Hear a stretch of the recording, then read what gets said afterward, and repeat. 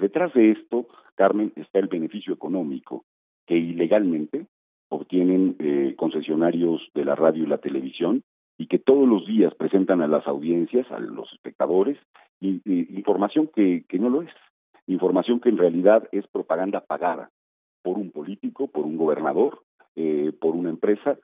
para decirle al público, para decirle a la audiencia que se trata en realidad de información cuando no lo es. La Constitución, en la reforma de telecomunicaciones a nivel constitucional, prohibió expresamente esta, esta condición y hoy los legisladores lo que hacen es intentar echar para abajo los instrumentos legales a partir de los cuales se podría establecer una intervención del Estado en esta dirección.